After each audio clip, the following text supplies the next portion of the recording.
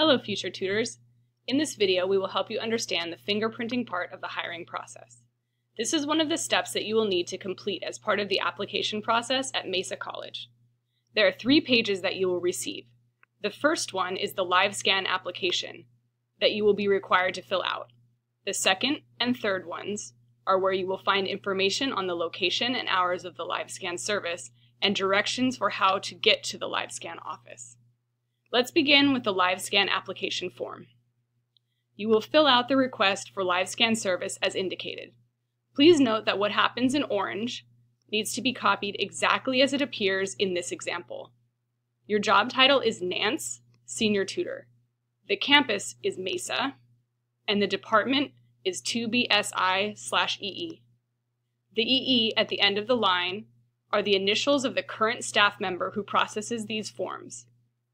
If this person changes, the initials will also change, and you will be required to write different initials here. Please pay attention to this line in the email that you receive. The portion of the form that is highlighted in yellow is where you will put your personal information, such as name, date of birth, driver's license number, etc. Note that you will receive a separate email regarding the LiveScan fee waiver form.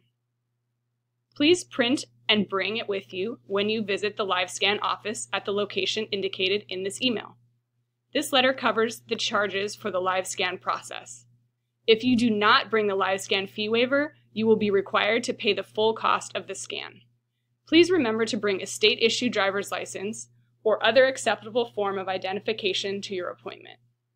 Please do not forget, you have to bring both the LiveScan application and the fee waiver letter to the live scan office.